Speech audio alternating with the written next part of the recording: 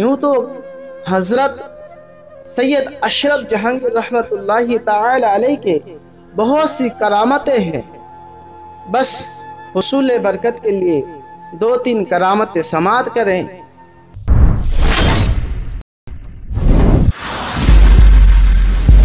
मोहम्मदपुर में जब आप पहुँचे तो मौलवी सैयद खान को आपने ये मुद्दा सुनाया कि उनके यहाँ चार लड़के होंगे, जो जो उलू में फजलो कमाल से आरास्ता होंगे, और ऐसा ही हुआ।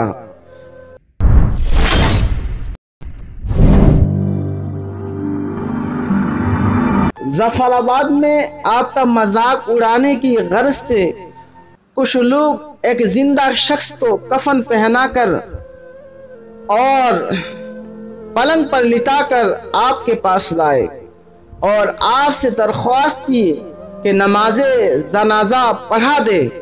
आपने पहले तो इनकार किया, लेकिन जब वो लोग ना माने तो आप नमाज़ जनाजा पढ़ाने के लिए खड़े हुए।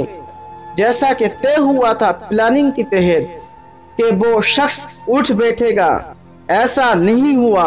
वो नहीं उठा तो लोगों ने पास जाकर देखा उस शख्स को मुर्दा पाया।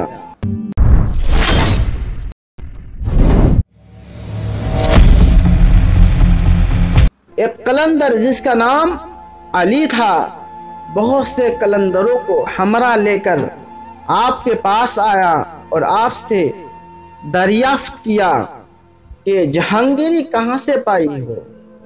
आपने जवाब दिया कि अपने पीरो मुर्शिद से। उसने कहा कि उसका क्या सबूत है? ये सुनकर आपको गुस्सा आया और वो कलंदर, जिसका नाम अली था, ज़मीन पर गिरा और मर गया।